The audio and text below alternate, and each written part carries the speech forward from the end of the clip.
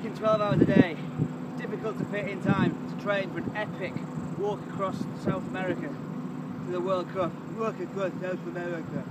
Woo! Excuse the morality, it's about 38 degrees today.